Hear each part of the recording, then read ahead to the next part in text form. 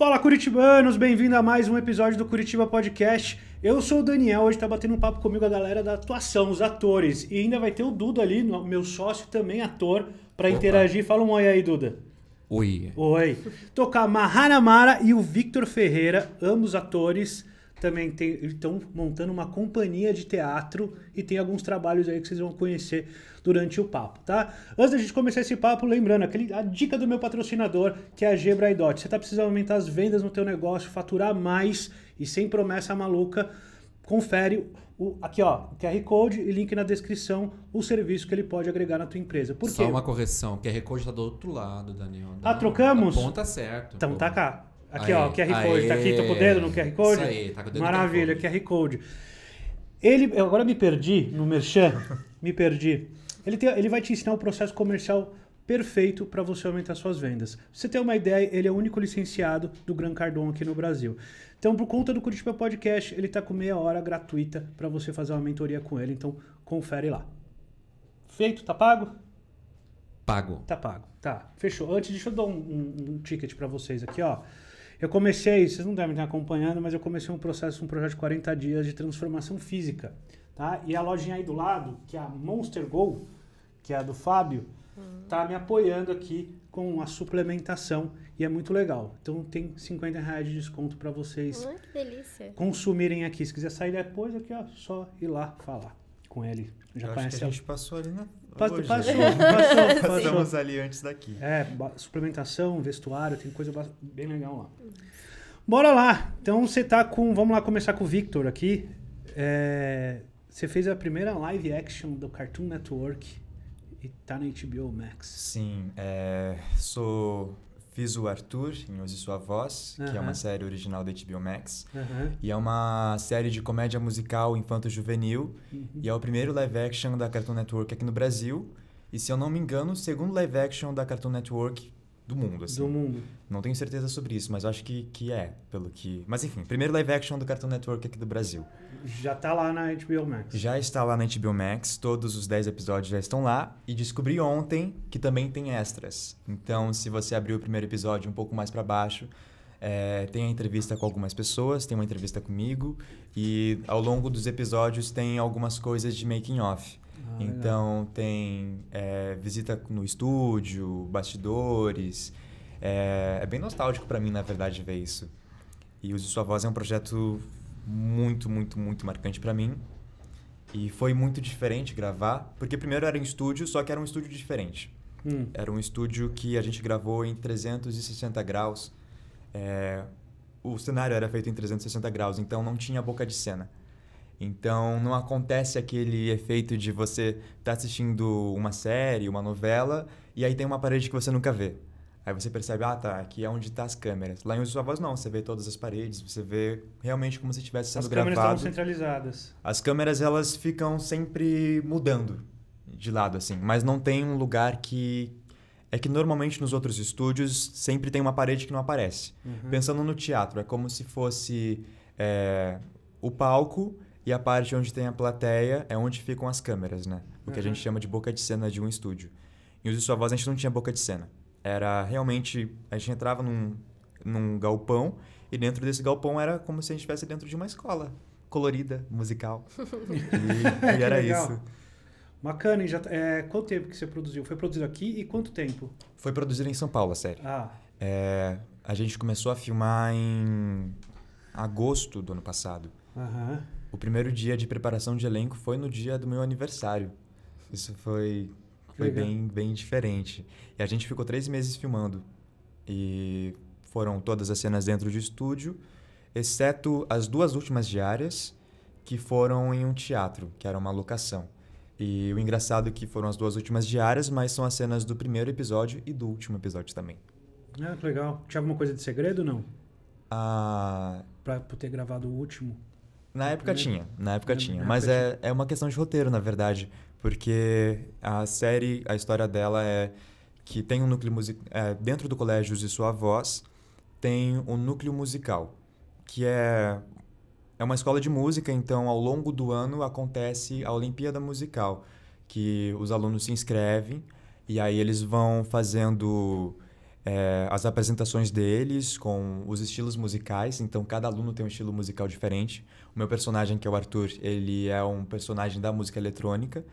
E a cada etapa dessas Olimpíadas Musicais, os alunos vão sendo eliminados. Uhum. Então, e no final do ano vai ter uma grande audição final, que vai ser no auditório do colégio, para apresentar para os jurados e também para as famílias. É um grande evento do colégio. Uhum. E a história começa no último dia de aula, no dia dessas audições finais.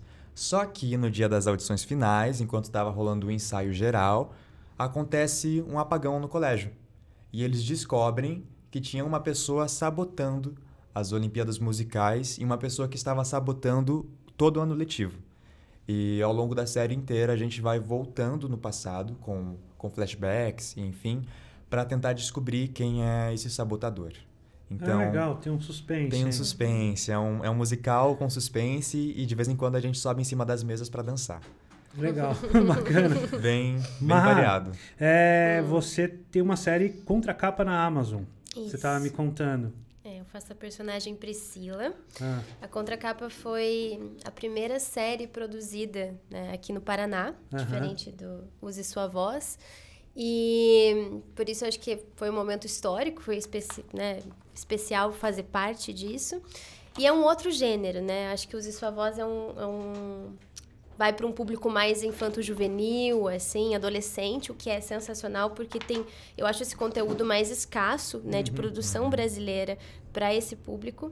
E a contracapa já é sobre jornalismo investigativo. ah, que legal. Então, a gente vê atores aqui de Curitiba, sabe? A produção é da GP7 Cinema, com direção do Guto Pasco e do Franco Verdoia, que é um é, cineasta argentino, né? Diretor maravilhoso. E, enfim, a segunda temporada já está confirmada, a gente vai gravar no ano que vem. Que legal. Então, é, acho que para quem gosta de Curitiba, né, que provavelmente consome o podcast, é legal de assistir também, porque eu vai assistir, ver não, não conhecia, vai ver o cenário, enfim, daí envolve escândalos políticos, é uma coisa, um conteúdo mais adulto, assim, né? Que legal. E, enfim, eu não vou dar muitos spoilers, porém vale muito a pena. Seu personagem, qual era o seu personagem? A minha personagem é a Priscila, ela é filha de um dos principais é, jornalistas investigativos, assim. Tem uma dupla, né, que vai atrás dos, dos crimes, das coisas que estão acontecendo, dos furos de reportagem, enfim, que é um jornalismo que Aliás, essa série também fala sobre a crise do jornalismo, né? A partir do momento em que qualquer pessoa poderia ser jornalista, lembra disso? Que, enfim, é, da profissão dessa coisa do, do jornal impresso para o mundo que a gente vive hoje. É, tem a Gazeta Brasileira, né? Então, é, a, a personagem que eu faço, ela vem também para complicar um pouco a vida desse pai, que é um desses, principais, desses personagens principais. Então, ela é coadjuvante, mas ela é bem importante. E os spoilers é que a Priscila cresce na segunda temporada, eu espero. Ah, que legal, a Priscila na Eu tava, eu tava brincando aqui com ela, gente, que eu perguntei que idade que tem o personagem dela nessa série. Ela falou 18. Essa, é- essa é dos 18 anos, né? Essa é dos 18. É, mas ela não tem 18 não. Isso- A atriz, quando é versátil, é, É. uma coisa que, que muda. assim, Não, eu atuação. falei, ou é o Botox, né? Ou é um bom É os dois juntos, é os dois juntos. Olha, olha o Duda. O Duda tem 31, parece ter Muito, 55. Não, eu tenho 39. Tenho 39. Tô meio dentro do perfil. Eu tô dentro do perfil. Inclusive, descobri esses Tá, tá tempos com aí. cara de 39. É, eu descobri é. esses tempos, eu fiquei um pouco decepcionado, porque eu fiz um comercial, eu tinha uma mulher e filha nesse comercial, e chegou a minha filha. Eu falei, tá errado esse elenco, chama o produtor de elenco aqui. Porque eu não sou pai de filha de 18 anos. Vá se fuder, não quero saber, velho. Volta. Mas sim, tô no perfil de pai de menina grande. Ah, mas já, é que a publicidade é um, é um lugar mágico, né? Digamos assim. Aquela coisa meio margarina, eu acho que isso meio que impera, né? na- na publicidade, porque é, aí sempre vai ter um pai que é um pouco mais velho, uma mãe que é muito mais jovem, muito mais bonita, né? Uma criança já bem criada, de 12, 18, no seu caso. Eu achei muito interessante que você falou que tem um pai mais velho e uma mãe muito jovem, muito bonita. Eu não entendi porque esses adjetivos não couberam pro pai, assim. É só um- Ah, não, é o uma Vem na Lancha. observação. É, eu só queria dizer que no caso do comercial eu fazia o pai bonito. Pai Ah. bonito. Tá, meu bem. É, tá no perfil, tá no perfil. Eu era, eu era diretor de. Eu, aqui é a nossa produtora, Uhum. minha e do Duda, mas eu sou de São Paulo. Eu, eu moro aqui há 7, 8 anos, eu não tenho certeza absoluta. E per- não conto. Mas eu era diretor de filme publicitário lá. De TV Legal. e filme publicitário. Eu produzia, eu fui diretor de produção de alguns longas também. Hum. Tudo longa porcaria. Sabe aquele que você não vai ver nem na Inter, no Intercine? Existe Intercine ainda? Ruim. Ruim. Eu não, eu não- nenhum deles eu assisti, pra você ter uma ideia. Nenhum deles. Porque era ruim. Bicho ruim com força. E olha que teve, teve um que eu fiz com com o Murilo Rosa, aquele da Global, e com que era ele e o, o Zé Pequeno lá, o Leandro Firmino. Sei. Na época os dois estavam mais ou menos bombados, mas o diretor e o roteiro era muito ruim, bicho, sem condição, não dava, não- era uma pena, é uma pena. Isso, isso que na verdade é uma, é uma grande briga minha que eu tenho, só para contextualizar, vocês também me conhecerem aqui no palco. Claro. É, desde a época que eu fazia, como eu, eu, eu fui um cara que vê- eu, eu não quis trabalhar com audiovisual, eu fui obrigado. Negócio de família, me botaram. E aí eu, tipo, nunca gostei, eu fui gostar depois de velho. Depois que comecei a mesmo a ganhar dinheiro, na minha cabeça era hobby, não conseguia entender que aquilo era um trabalho. Então a minha cabeça é muito mais comercial. Então eu entendo assim, pô, tá gastando dinheiro, você tem que dar lucro. A minha cabeça é igual de americano, produtor executivo americano. Se gastou tanto, tem que lucrar um X, tem que ter dinheiro envolvido, tem que ter grana, né? E aí a galera do, do circuito de cinema, não sei como tá hoje, depois vocês me falam, é, era uma galera muito hippie, assim, tipo, ah, é pela arte. Arte é o cacete, meu amigo. Eu falei pra eles, pô, vocês querem quê? comer coxinha o resto da vida? Vocês vão ficar se matando aí pro cachê porcaria? Aí eu, aí eu, eu discuti com a maquiadora. Eu falei, o seu teu cachê daqui desse trabalho? Se fosse em Hollywood, num trabalho que você ganhou 10 vezes mais. Você tá feliz com isso? Então eu tinha essas brigas, que era sempre puxado por uma linha muito cult, porque dependia da- das leis e tudo mais, e não saía nada é, que valia a pena ver no cinema, entendeu? Nem rodava no cinema. Como é que tá hoje isso aí? Só pra vocês entenderem qual que é a, a minha mecânica, a minha cabeça tem que dar, que nem, tem que vender pra uma Amazon ou pra uma HBO Max. Aí pra mim faz sentido produzir uma série, produzir um longa.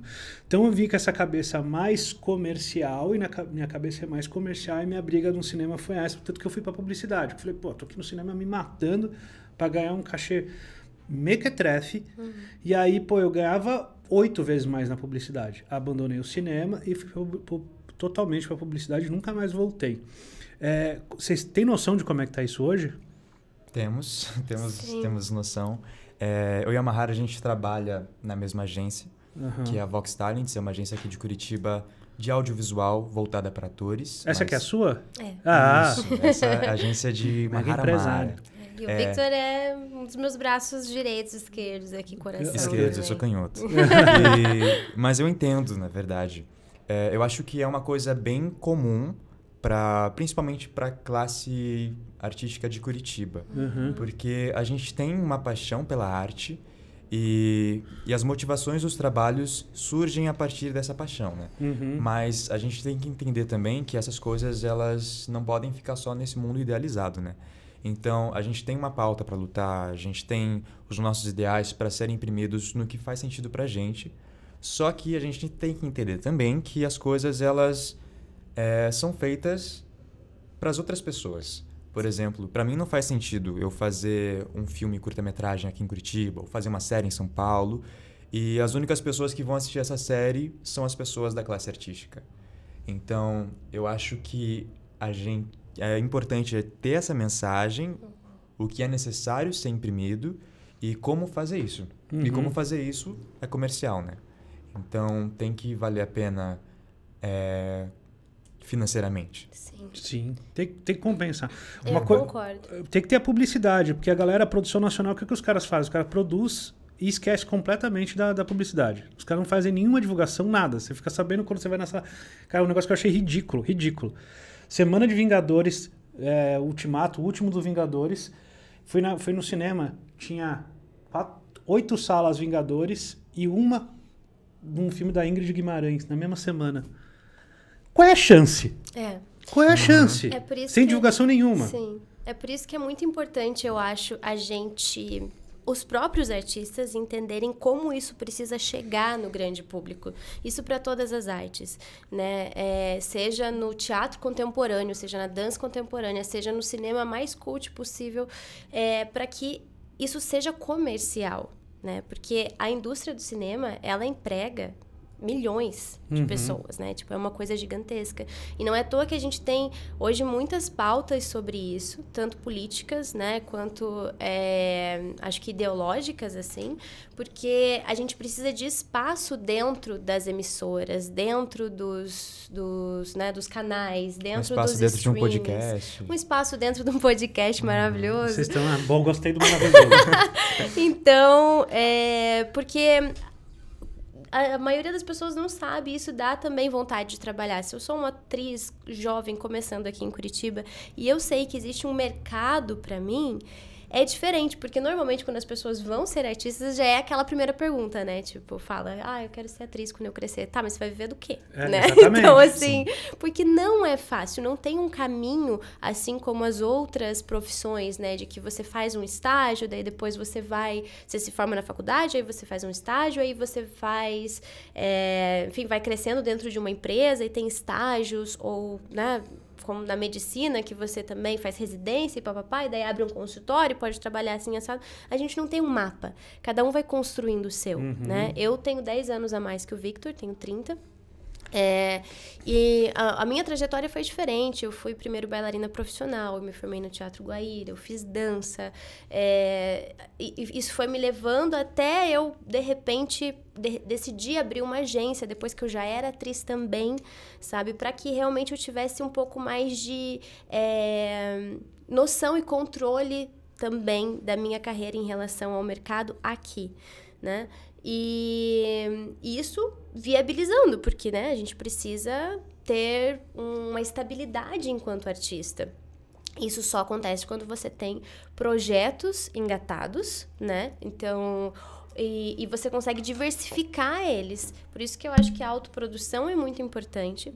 A gente entender e ficar bem atento e politizado mesmo com as, as, as, nossas questões, né? Por exemplo, essa questão da, que está em pauta agora da lei dos, do, do, do, da quantidade de hum, conteúdo que brasileiro que passa, né? Existe uma cota. E não é os 30%? Então, agora meio que a questão é que estão querendo derrubar isso, né? E a gente precisa desses 30%. A gente Porque precisa é o único muito jeito, é o único 30%. jeito. Senão não vai ter. Exatamente. Não vai ter mercado. Aí então, acabou. A gente precisa estar tá entendendo de tudo isso, né? Com consciência mesmo, para poder é, se pautar mesmo como mercado audiovisual, como mercado de teatro. Isso é uma coisa, na verdade, que, que precisa estar tá nas pessoas, né? É, e precisa ser incentivado desde o começo. O Brasil, é, na questão da história do cinema latino, é, a gente tem uma barreira que é a barreira linguística, né? O Brasil é o único país, é, não o único país, mas é o único país que fala português e os outros países falam espanhol e tem a Guiana Francesa, que é uma província uhum. da, da França. Mas, enfim, é, e o Brasil, por conta dessa barreira linguística, tem uma barreira de se entender como latino também. E na minha infância mesmo, eu nunca assisti ou nunca passava em TV aberta alguma animação, algum filme que era latino. Tudo que a gente assistia ou consumia eram conteúdos é, norte-americanos. E não tem problema quanto a isso. A questão é, é quando que os conteúdos nacionais ou dos países vizinhos, dos países irmãos vão chegar aqui também. Isso é uma coisa que precisa ser assegurada com, com as leis e, e até dentro dos streamings, por exemplo. É, falando da HBO, hoje Irmão do Jorel, por exemplo, é uma animação maravilhosa brasileira, de voz original, que foi indicada ao Emmy e é uma animação propriamente brasileira. Uhum. E é muito gostoso assistir Irmão do Jorel e você olhar para a avó Juju e você ver a sua Se avó identificar. ali. Uhum. Você vê aquele abacate uhum. e, e ver, tipo, a sua realidade naquilo, né? Então, precisamos de mais coisas como, como Irmão do Jorel, mais produções como Use Sua Voz para esse público infantil e também que essas produções adultas como Contracapa é, sejam mais flexíveis e, e cheguem também a esse público que não é só das artes. Sim, mas precisa de divulgação. Precisa de divulgação, Precisa. precisa, desse- do comercial envolvido nisso também. Sim. E- Por exemplo, eu vou dar um exemplo simples aqui. Eu acho Avatar um filme bem porcaria. O James Cameron, ele é revolucionário, mas diretor bom ele não é. Porém, ele faz uma coisa que poucos sabem fazer. Ele sabe vender um filme. O que, que ele fez? Não sei se vocês lembram. É, do- ele, ele talvez não, você sim. eu assisti Avatar. Você- não, mas assi- Eu sei, o primeiro Avatar eu era, eu era um projeto de pessoa ainda. é, você não- Apenas um neném. É, mas o que, que aconteceu no Avatar? O James Cameron, como ele estava usando aquela tecnologia do motion capture, ele ficou um ano antes de lançar o filme soltando a tecnologia, não o roteiro. Ele estava instigando a galera com tipo, eu tô revolucionando, eu tô revolucionando. Porque o roteiro, se você vê com tranquilidade, um olho frio, é um roteiro de sessão da tarde. É um roteiro de sessão da tarde. É muito fraquinho. A direção, então, a única coisa que tem de boa no filme é a, a tecnologia envolvida. Ele sabia disso. Ele não estava imaginando. O que, que ele fez? Ele fez publicidade a dar com pau. Ele gastou um ano de publicidade antes de lançar o filme para instigar a galera ir no cinema. O que, que, eu, que, que eu acho legal? Por que, que esse exemplo? Porque é isso que falta na mentalidade do brasileiro. Ele vai muito para a coisa da arte e esquece que é um, um é, nego- é comercial, tem que lucrar com aquilo. E é isso que o cinema aqui não vai emplacar nunca, porque não tem essa mudança de status quo, de divulgar. Pega uma grana, quanto vai custar o filme? X, ou vai pela lei, é, é, Rouanet, não é Rouanet, qualquer... Esqueci. Ah, você tem vários. vários... Tem a Rouanet, não, e tem a... o- Tem a Ronê, tem a Paulo Gustavo, Tem a tem a Paulo Aldir Gustavo. Blanc. Nossa, então tá, tô bem Tem desatualizado. muitas, tem tem vários Profice, mecanismos. tem- é. É, né, a gente tem leis municipais, Ah, estaduais, tá. nacionais. Então mudou muito, né? Eu lembro que tinha Rouanet e outra, que eu Tem não lembro. muitas. na, na aham. época que eu fazia. A galera vai lá, capta. Pode estar liberado para captar um milhão. O cara pega um milhão e gasta um milhão para fazer o filme. Às vezes fica devendo ainda. Aí não esquece completamente da. É, o cara não tem verba para publicidade. Você vai depender de quem? Que a Tim vai te ajudar? Ele não vai. Entendeu? Então esse é o erro. Os caras não fazem a conta. Hollywood, os caras fazem isso aqui, ó. Pega o roteiro, fala: esse roteiro aqui, ó, dá para gastar tanto. E eu já sei onde eu vou. Eles fazem toda uma programa, uma engenharia reversa do, do para onde vai o filme, quando vai estrear, o melhor momento, tudo. Aí ele pega, fala, vou gastar X aqui e dá para ganhar tantos X aqui.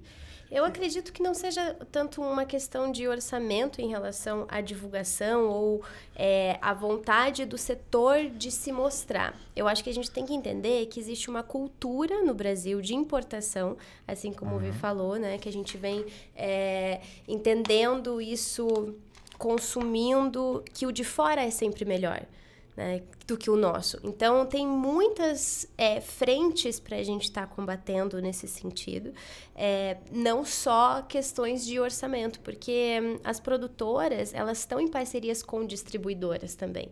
Distribuidoras, grandes empresas que precisam lucrar, então, que precisam ter salas de cinema pelo menos por tantas semanas para que esse filme consiga é, alavancar. Esse filme primeiro precisa rodar alguns festivais nacionais internacionais para ele ganhar esse, essa robustez para depois ir para a sala de cinema. Então, assim, existe um processo que eu acho que as pessoas talvez desconheçam, sabe? Ou talvez, né, que nem você falou, tá desatualizado na sua cabeça, mas de certa forma é uma cultura a ser combatida de que o de fora é melhor. Né? Que uma série em Curitiba vai ser inferior a uma série que está sendo gravada no Rio de Janeiro, sabe? Tem séries sensacionais na Amazon que É. tem muito mais visibilidade, tipo Dom, né? Também tem um orçamento muito maior, tem atores globais, enfim, mas isso não significa que em conteúdo seja melhor que Contracapa ou vice-versa, sabe? São o propostas proble- o- diferentes. A, a minha briga é que não chega na galera. Sim. Você Pois não- é. eu- por exemplo, se eu abro, se eu for no Super 8 do Otávio Gá, no Sim. Gaveta, abrir qualquer canal que fala de cinema e séries, você vai ver todas as séries hypadas gringas. Sim, Você não vai. E eles, eles têm parceria com essa galera aí. Claro. Você entendeu? Falta, falta injetar esse marketing. E a Sim, gente vem trago- começando isso agora, né? A É. gente vê Bom Dia Verônica, né? Que é uma série Netflix, assim, que foi mundialmente, Uhum. Acho que a né? gente traz Todo dois mundo ficou pontos disso. sabendo. É, primeiro que tem isso também, de ser uma cultura mesmo, é, de quando assistir alguma coisa que seja fora do Brasil, principalmente estadunidense, de ter isso não, esse estadunidense, é blockbuster. E, e aí as pessoas elas não estão com um olhar tão crítico. Mas quando vem com uma série nacional, as pessoas em grande maioria ver se tentam vai ser bom, é, tentam sabe? procurar defeitos nisso. Mas você E pega Round disso- Six, bicho, é coreana, de repente estourou no mundo inteiro, Então, você entendeu? É, Então, mas assim, é uma coisa E que sendo ruim pra caralho, desculpa. Eu só achei fazer legal, cara, divertiu. É bom Eu que tem acho- público pra tudo, É. né? Vocês percebem. Mas assistiu. Caiu no Assistiu. hype. Assisti Passando Roupa. Pra vocês terem uma ideia, ah, deixa passando roupa. Passando roupa, deixa a série passando lá Passa roupa, quanto... basta- você passa tipo um cesto inteiro, assim, só um parênteses. Olha, eu já não passo mais, me livrei disso na minha vida. Hoje eu já ponho na lavanderia e o cara me entrega Ah, dobrado. aqui do lado, inclusive, né, do Betão aqui. Betão aqui, maravilhoso. Tem eu só passo a roupa antes de usar. Não, não- Eu também.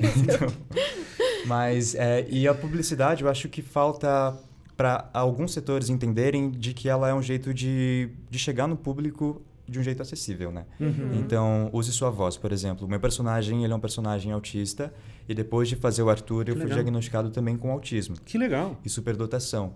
Então, é, como que eu vou fazer é, outra criança dentro do espectro autista querer assistir uma série so- que tenha um personagem autista Uhum. também? Então, é esse lugar da identificação. E eu acho que isso acaba faltando para para grandes produções nacionais. Uhum. A gente está com, com uma coisa que agora é, as produções nacionais estão chegando de um jeito mais é, acessível, igual foi com Bom Dia Verônica, igual foi com Cidade Invisível. É, ass- es- espero que seja assim também com Use Sua Voz. Uhum. Mas é, é um início ainda, né? Tá. Sim, a gente tá engatinhando, né? Se a gente for ver, hum, acho que é, é preciso ter carinho com o cinema brasileiro nesse sentido, sabe? Um olhar de que hum, a gente tem aqui essa tecnologia, essas, essas faculdades, essa formação. Eu, eu tento olhar, assim, na verdade, para todas as coisas que falam que o de fora é melhor ou que, ah, Estados Unidos é primeiro mundo, sabe? Aquela coisa assim. E não que tipo- seja ruim, né? é, Mas a gente exatamente. Mas, do nosso sim, eles espaço. têm uma indústria muito maior porque eles estão há muito mais tempo. Né? É, existiram também formas e leis que incentivaram para que aquela indústria acontecesse daquela forma. E como que a gente pode fazer isso aqui hoje, agora? Posso dar É, minha uma coisa que opinião? eu queria só lembrar, que é importante lembrar, que uma galera pagar pau pro cinema americano hoje, como um cinema que move muita coisa, não sei o quê, e, e critica uma lei Rouanet, critica uma lei Paulo Gustavo, critica um Profis, lembrar que Estados Unidos só é Estados Unidos porque teve muito investimento público. Sim. Né? O cinema americano, só, Hollywood só, só surgiu por conta de investimento público. Mas as né? empresas são privadas. Não, tudo é aí bem. que tá, era onde eu ia fazer a aí- defesa aqui. Aqui não é privado. Aqui você tem que. Você depende sempre do dinheiro do outro. Não tem nenhuma empresa que fala, vou bancar 10 milhões de reais pra produzir um filme. Mas eu acho que não é o momento. Talvez não seja o momento histórico disso. Por Porque se você for ver o cinema norte-americano, é, ele está em outro momento histórico. O momento histórico do cinema americano no início era o momento do dinheiro público. Era o momento em que o, o- o governo tinha que incentivar aquilo para que aquilo acontecesse, porque ninguém acreditava. Aham. Né? Eu acho que o cinema americano, os Estados Unidos compreenderam que cinema é uma boa forma de propaganda do próprio país, né? E cresceram nisso, investiram muito nisso e hoje eles estão num outro momento histórico. Uhum. que Eu acho que não é o momento Isso é histórico uma do Brasil. propaganda pro país é bem legal. né? É, não é o momento histórico do Brasil. É. Acho que acho que tem isso. E eu acho que as nossas leis também merecem várias críticas, assim. Eu acho que as nossas leis elas pecam muito por conta disso. Às vezes, a gente Demais. tem um, um projeto que pode ser incrível, mas que peca pela falta de publicidade, que peca... Tem uma, uma pesquisa que eu vi alguns tempos atrás sobre a Lei Rouanet, que no- mais de 90% dos recursos aplicados na Lei Rouanet atendem o equivalente a um estádio de futebol, é, que, tá, que estaria localizado ou na Paulista ou no Leblon. Então, olha que absurdo, uma lei Sim. nacional que deveria atender o Brasil inteiro, está atendendo dois pontos. Então, a gente precisa rever nossas leis e repensar nossas Sim. leis com certeza absoluta. Mas no é sentido de repensar construção, no né? sentido de construir Exatamente. e não no sentido do que vem sido feito pela extrema direita brasileira, que é, é, dizer que artista é vagabundo e foda-se. E se quiser montar, teve uma secretária de cultura, a Regina Duarte, que falou: não, você quer montar um- uma, uma Um peça desserviço. sobre- É, você quer montar sobre esse tema, arranja o teu dinheiro. Quer dizer, não é, não é esse caminho também. Uhum. Dois exemplos que eu já trouxe aqui, que eu acho que cabem. É... Irmão do Jorel é uma animação e ela tem incentivo nacional, tipo estatal do governo, e também tem a iniciativa da HBO, né? Uhum. Da Warner Bros. Então é um que tem público e também tem privado. Use Sua Voz, a primeira temporada, é uma iniciativa só com dinheiro privado.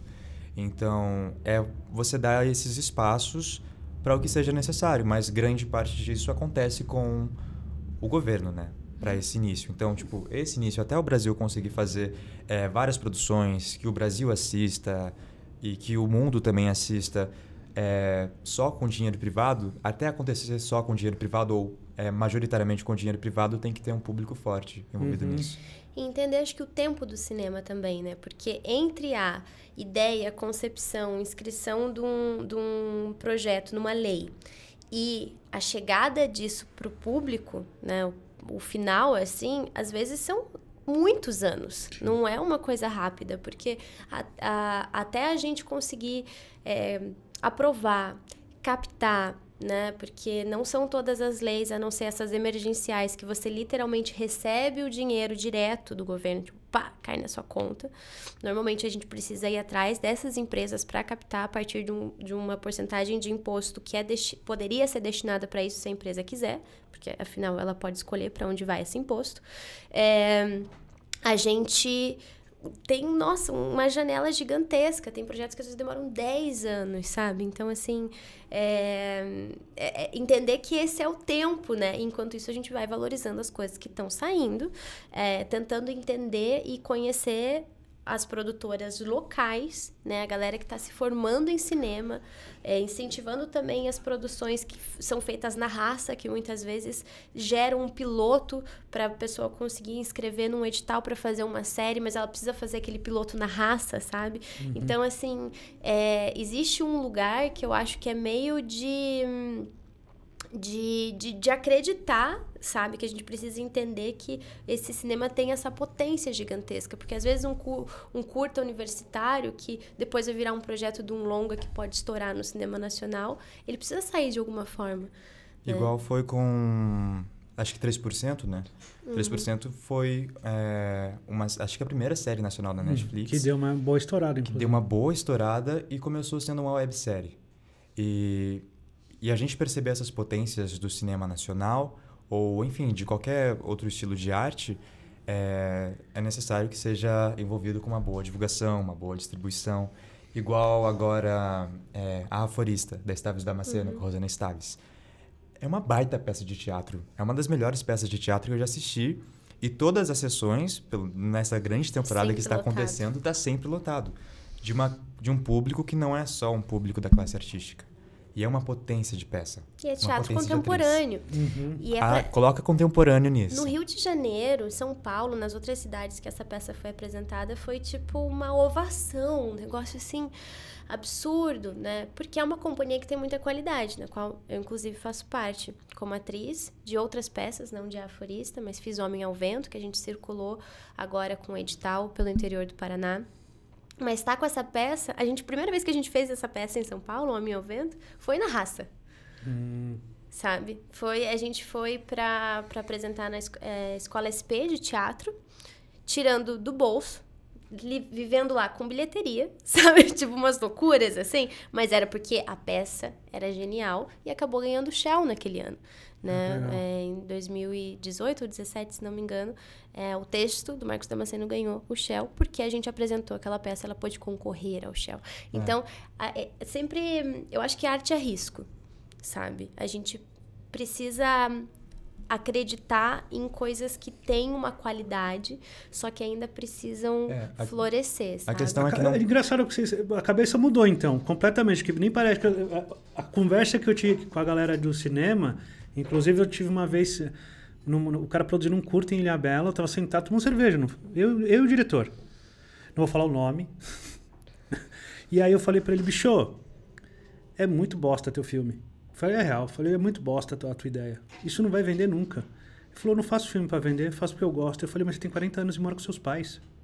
Ah, mas aí que aí a gente tá É. falando de um caso de homem bem específico, né? Tipo, Sim. começa por aí, o cara tem 40 anos e mora com os pais. Sim, o cara até filho tinha, sabe? Então você fala, cara, mano, a cabeça. E era essa cabeça era muito latente na, na, na- naquela, naquela época. época. Era naquela época. Isso aí tem um, vai, 15 anos atrás. Era muito normal a galera pensar assim.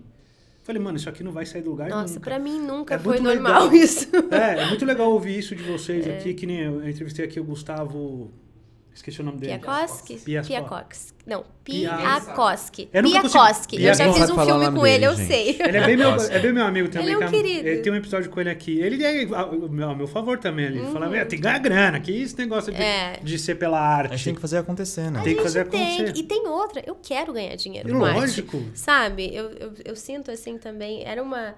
Eu, eu entendo o que você tá falando, porque quando eu tava na faculdade, eu fiz FAP, né? Hum. Estou E- na FAP também. E entendo, Victor entendo esse está na. FAP, entende esse sentimento de às vezes ter um lugar assim idealizado, romantizado, meio brejê, assim, sabe? tipo meio bicho grilo demais, assim, nada contra eu amo bicho grilice. É, mas de que você não vai vender a sua alma. sabe? Você não vai vender a sua alma pro capitalismo. Você não vai vender. Não, eu acho que a gente tem que saber lidar com o capitalismo, sabe? Até porque, assim, eu vim de Ponta Grossa pra cá pra fazer. Você sabe aquela coisa assim, história, menina do interior e tal. Vem, né? Ponta Grossa não é tão interior, mas a minha família tem é, uma origem mais humilde, mais camponesa. Então, não, eu tinha que me virar, eu tenho que ganhar dinheiro, entendeu? Tipo, essa profissão tem que me render, seja dando aula, seja produzindo, seja me autoproduzindo, seja fazendo comercial. E eu quero ganhar dinheiro. Tipo, não tem nada de errado em ser ambicioso enquanto artista. Claro que não. Muito pelo contrário, eu acho muito positivo, sabe? Total. A questão é que essa ideia de ah, você tem que fazer arte pela arte, arte, se você ganhar dinheiro, não é tão arte assim, é uma ideia é, que começou a ter essa concepção a partir, acho que, do século XIX. Não sei se é século XIX, mas é uma ideia burguesa. Porque depois de que é, o capitalismo, tipo... O capitalismo tem várias fases, né? Eu não vou entrar tão sociologicamente nisso. Mas depois de entender de que a arte é uma coisa para a elite, então fazer arte sem ganhar dinheiro é possível para quem já tem dinheiro. então é muito fácil você falar que, que se você vender a sua arte, ela não vai ser arte, você faz arte porque é um inventivo seu, é uma coisa da sua alma e por isso não vai ter um valor. Só quem tem dinheiro, só quem já tem uma família muito rica vai conseguir falar isso. Que é provavelmente o contexto É. daquele cara, 40 anos, em Ilhabéria, tomando uma cerveja, fazendo um filme, morando com os pais. Gente, É. sabe? Tipo Mas a assim. questão é quando vem uma atriz de Ponta Grossa, um, um menino autista, que os- o meu pai, ele trabalhou de cobrador de ônibus aqui em Curitiba. É, os meus avós nem sabem ler. Então, os meus avós paternos. É, é outra realidade. Sim. Então, é tipo... ah, Eu faço cinema hoje, eu faço teatro hoje porque a minha alma escolheu fazer teatro e cinema. Já tentei fazer outras coisas, já pensei em ser físico. É, mas... Ele tem perfil, né? Tem, também. tem Eu perfil. tenho, eu falo perfil, eu só faço nerd. então, é, e o, que- o que é mais capitalista do que um nerd que gosta de Marvel, né? É. Mas, enfim, é, a gente tem que fazer as coisas possíveis. E essas coisas, elas têm que ser... Sei lá, se alguém quer ser artista, independente da classe social da pessoa, ser artista tem que ser uma possibilidade. É um caminho de pedra, mas se souber estruturar, dá pra chegar. Sim, É. tem que ser uma possibilidade como qualquer outra profissão. E a questão é que não precisava ser um caminho de pedra. Igual a Mahara falou de é, da primeira temporada de Homem ao Vento em São Paulo ser ali meio que na raça e por mais que isso tenha rendido bons frutos, não precisava ser assim. Não. Não precisava ser assim para Homem ao Vento e não precisa ser assim para para todo mundo que tenta viver de arte, né? Uhum. Podia ser mais acessível, podia ter mais investimento e mais é, apoio primeiro do governo para que depois tenha apoio do público em geral. Uma pergunta, como é ser ator? Eu, é, eu nunca nem fiz essa pergunta pro Duda, mas é que o Duda é meu sócio aqui, é meio que uma pergunta que não faria tanto sentido.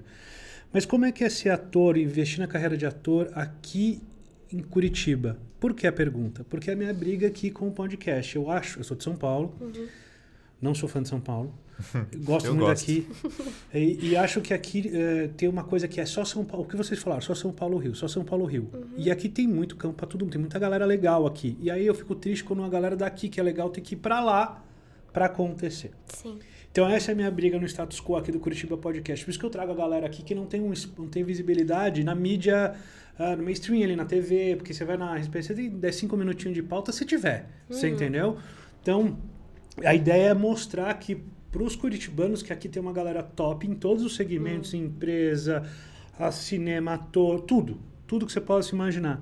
Comediante, tem uma galera legal aqui e que não precisa perder para São Paulo, que dá para criar uma cena aqui. É Eu- por isso a minha pergunta, entendeu? Eu acho que aí tá o, o plot twist da coisa. é, Curitiba tem uma cultura gigantesca de teatro, de cinema, de publicidade. Então, quando você entra no mercado de Curitiba, você fica, meu Deus do céu, que filmes maravilhosos, que Sim. filmes lindos que são feitos aqui. Mas a questão é que é, as coisas, quando são feitas aqui, as pessoas ficam aqui, só quem sabe são é a classe artística de Curitiba e pessoas de fora de Curitiba. Quando uma pessoa de Curitiba vai para o eixo Rio-São Paulo, aí essa pessoa, meu Deus, é o orgulho do Paraná. É, é isso que eu falo, só se É, orgulha. Exatamente. Quer ver o um- Só se orgulha Fabiola. Nascimento. Tem tantos atores que saíram daqui, que estão lá, né, na, que são Alexandre É globais. isso que é a minha treta. O Enfim. curitibano só valoriza quando foi embora. É, o Exatamente. curitibano tem... Curitibanos, vamos melhorar. Vamos, vamos segurar a galera aqui. Aliás, Vamos- uma, uma coisa que tem a ver com isso, que o pessoal fala que o Curitibano é muito crítico de peça de teatro, né? É. Se você. Muita peça estreia em Curitiba, É o pé, é o se não der certo aqui. Na verdade, o Curitibano é muito. é muito fã de Rio São Paulo e muito fã de propaganda. Uhum. Então a lógica é a seguinte: se você estreia aqui com a tua propaganda e não dá certo, nem vai pros outros, porque o Curitibano aplaude de pé qualquer porcaria. Então, assim, Sim. a lógica, na verdade, é exatamente a oposta, né? É. Porque a gente paga pau mesmo. Se você é uma peça de São Paulo, tá Miguel Falabella, tá Irene Ravacho no elenco, Fernanda Montenegro estreou aqui em Curitiba, não fez sucesso, nem vá pra frente. Porque a gente aplaude qualquer porcaria. Isso é uma coisa real, assim. Isso é qualquer real. porcaria de São Paulo e Rio, a gente aplaude. Não, mas Inclusive, eu e Mahara, a gente está formando uma companhia de teatro. Não sabemos se vamos estrear em Curitiba ou não, mas em algum momento ou outro estaremos nos palcos aqui de Curitiba. vão ter que estar. Vocês têm que estar. É. Pra, pra, tem que mudar isso aí. Leva tempo, mas tem que mudar. Essa é a minha Tem briga que. aqui há quase três anos com o Curitiba Podcast. Na verdade, eu me liguei disso já começando. Eu falei, cara, aqui tem uma parada que a galera não se valoriza. Eu gosto muito de comédia, de stand-up. E aí, olha que bagulho absurdo. Ninguém para pra perceber isso. Só a galera da comédia sabe disso. É, o stand-up nasceu aqui com o Diogo Portugal. Teve casa de show, que a primeira casa de de show de stand-up foi aqui. A galera, o Rafinha, o, o Fábio Dani, Lins. eles que vinham para de São Paulo pra cá pra fazer show. Aqui era o cenário da comédia. O que que aconteceu? Não deram valor. Aí foi pra lá, o Diogo foi pra lá. O, o Afonso Padilha, um dos maiores comediantes de stand-up. De ver onde ele tá? Porque aqui não teve valor. Eu tenho Mas amigos agora, que... quando ele volta, meu Deus do Depois céu, né? 12 horas de, Orgulho. se ele anuncia um show aqui 12 horas, tá- tá- acabou o ingresso. Sim. E aí eu, eu tenho um amigo que começou com ele, amigo dele, no mesmo tempo que ele, é bom quanto ele, muito bom. E não é ninguém. E outra coisa que o stand-up, por ele ser é, uma prática que é acessível para as pessoas, né? Tipo, muitas pessoas querem assistir o stand-up e não precisam ser pessoas, é, sei lá, um advogado assiste stand-up, qualquer pessoa quer ir, vai lá Uhum. assistir um stand-up para rir, um bom stand-up, né?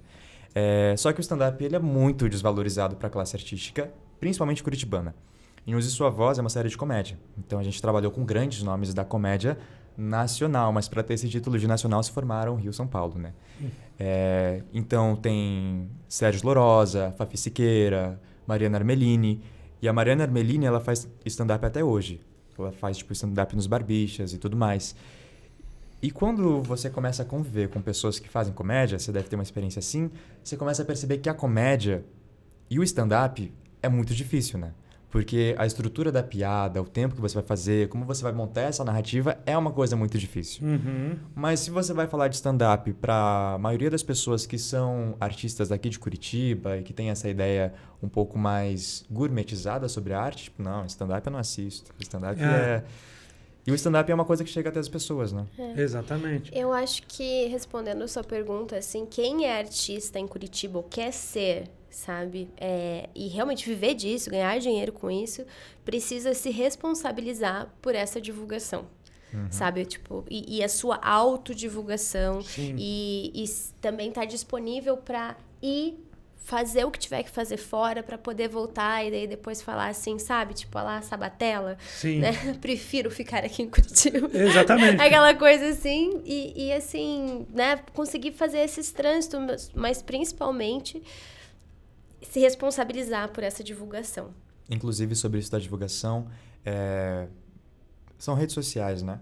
Tipo, o Instagram é muito importante, é, TikTok é importante. Aí é como você, como artista, traz é, a divulgação do seu trabalho dentro dessas ferramentas que são as ferramentas que todo mundo usa. né? Assessoria de imprensa. Assessoria de que é uma imprensa. coisa que eu nunca, eu não tinha ouvido falar ainda até é, pouco tempo atrás, sabe? Tipo, mesmo depois de eu já ter gravado uma série, já ter feito um monte de coisa, eu falei, meu Deus, quantas coisas que eu já fiz que eu perdi de divulgar, Sim. porque eu nem sabia que era possível contratar uma, uma assessoria de imprensa.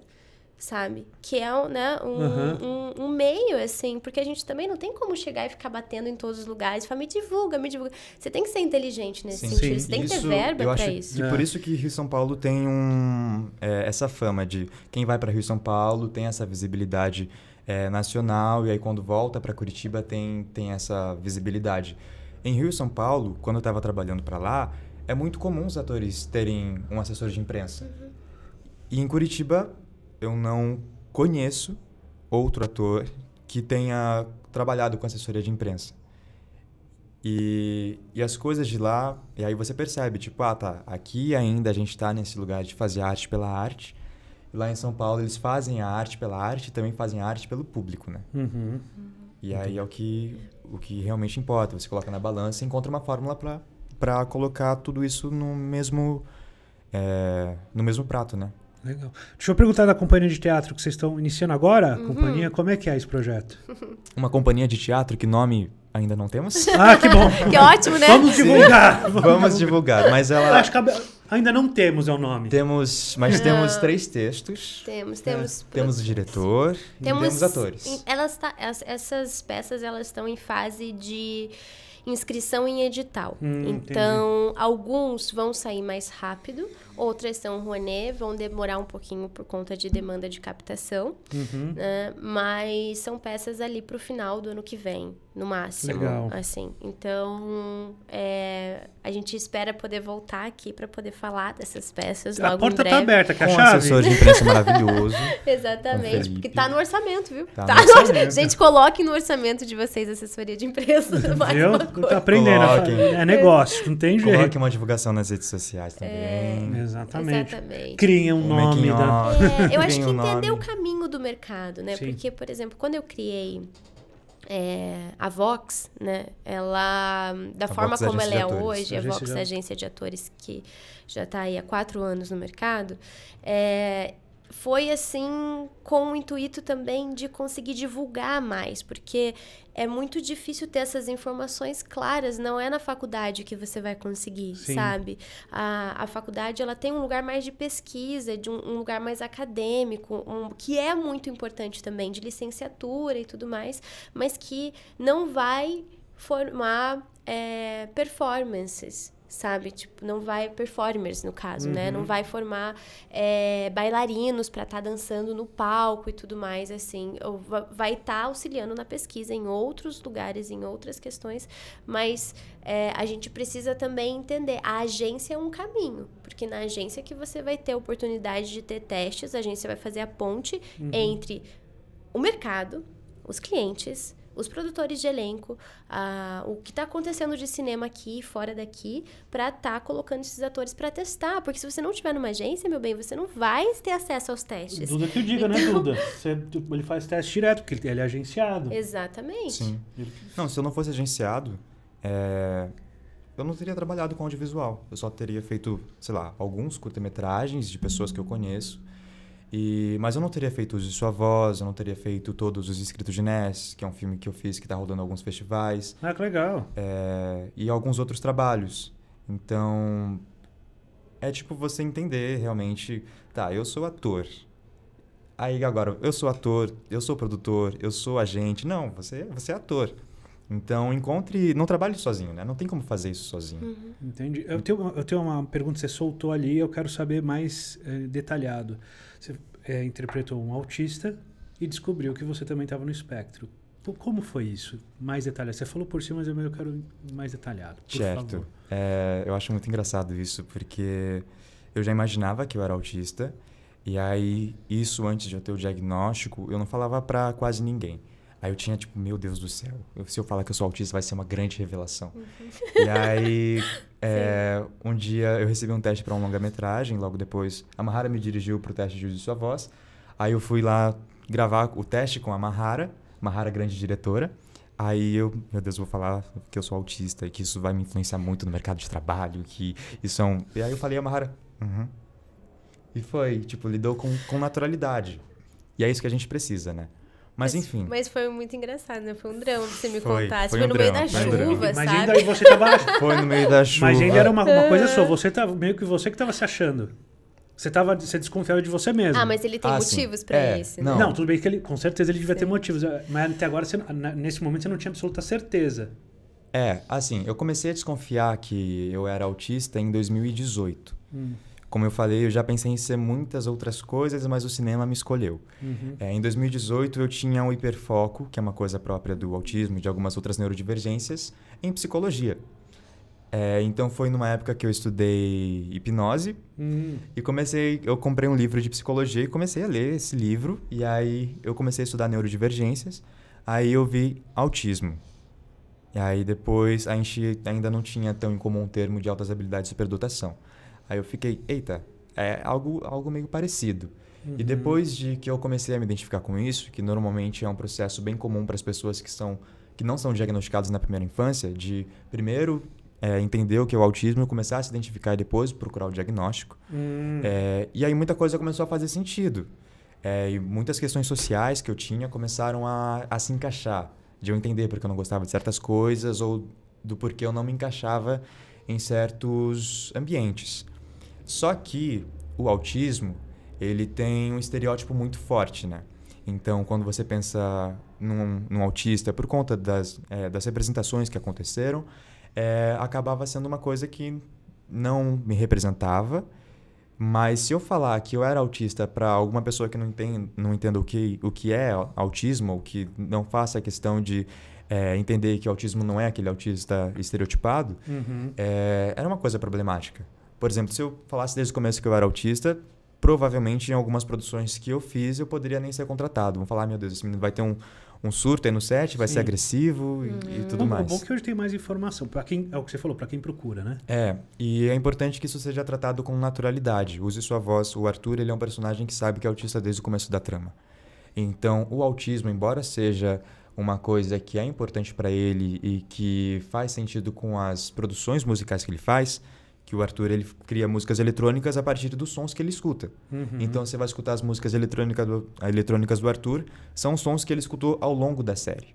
Então, você vai escutar o zíper, você vai escutar a porta, enfim, é um, é um trabalho bem legal do Auro, inclusive, que foi o diretor musical da série. Mas é, ele já sabia que era autista desde o começo da série e o enredo dele não é só o autismo, mas são as questões igual qualquer outra pessoa, que são tipo, ah, é relacionamento ou a questão dele como fazer essa audição musical. Mas é, aí eu fiz o Arthur em Use Sua Voz. É, quando eu recebi o teste, estava escrito as características dele, mas não tinha falado ainda no teste que ele era um personagem autista, mas lendo ali, identifiquei que ele era autista. Uhum. E aí eu fiz o primeiro teste, que a Mahara me dirigiu. Eu, normalmente os testes eles têm que durar mais ou menos um minuto, três minutos no máximo. O meu teste deu quatro minutos e mais quatro minutos de, de outro vídeo. Então eu fiquei, meu Deus, eu enviei oito minutos de teste para essas pessoas, elas vão me odiar. Não, mas fazia todo sentido que durasse esse tempo, tá?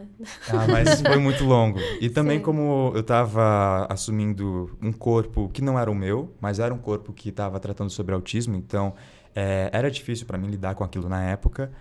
Então, além de estar nesse personagem muito diferente, mas naquela época ainda era muito gatilho para mim falar abertamente sobre autismo.